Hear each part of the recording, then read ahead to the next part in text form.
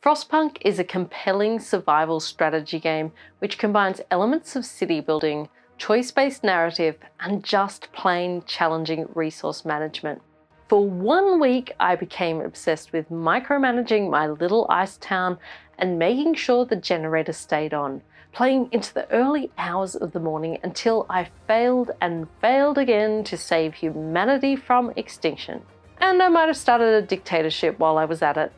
I love the setting of Frostpunk. When a catastrophic ice age event hits England, a small group of workers and engineers bands together around a coal generator to survive.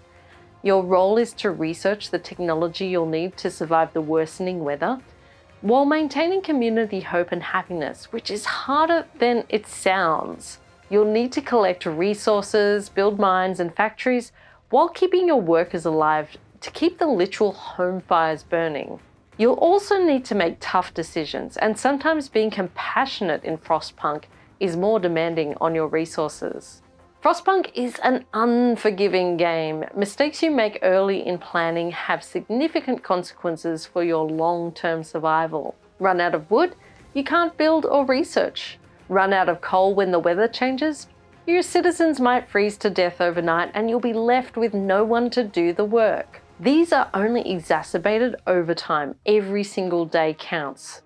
A key part of survival is knowing how to heat your city well, whether that's with steam heaters or stockpiling enough coal in the coffers to keep the lights on. One of the biggest mistakes I made is keeping the generator on all the time.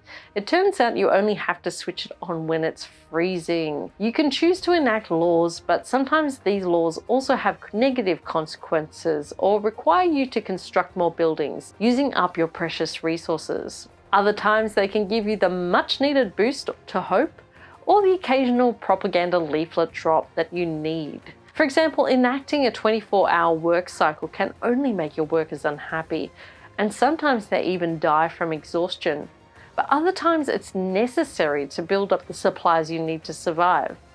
It's this cause and consequence that Frostpunk does so well. These challenging game mechanics will appeal to the micromanagers out there. For those of us who are a bit more lax in our city construction games and prefer to put it on fast forward so you can watch the little buildings grow and little ant people run around, you might struggle with the demanding nature of Frostpunk's resource management. But it is a satisfying game if you master these mechanics. After several failed playthroughs, I survived with only six children alive. Of course, they went all Lord of the Flies on me and banished me to the wilderness. I deserve that, really. I ended up having to read a build guide in order to understand how the game worked better, and this might be one of my small critiques of the game. There's not enough information to understand how quickly you need to build, how the heating system really works, or how interlinked things like medical tents are and technology are to the survival of your city. Either that or I'm just bad at this game.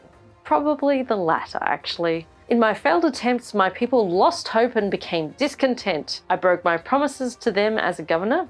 It's a tip for life and for Frostpunk don't make promises you can't keep. That I had to start a dictatorship in order to survive, well, as the game's judgmental end screens came up telling me that humanity had survived, but at what cost?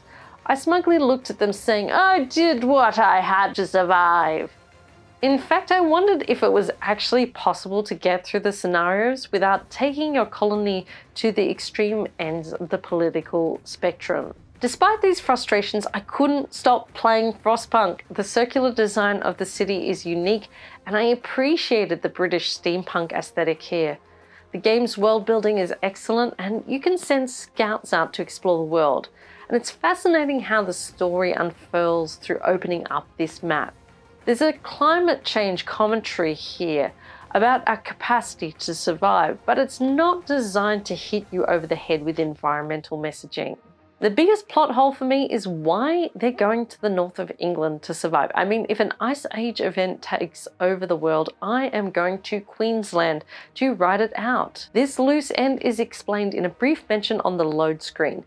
They built generators to access the large coal seams in the north. Frostpunk is a challenging but rewarding strategy game that would appeal to detail oriented gamers and those with an appetite for power at the end of the world. For the rest of us, we're probably just going to freeze to death.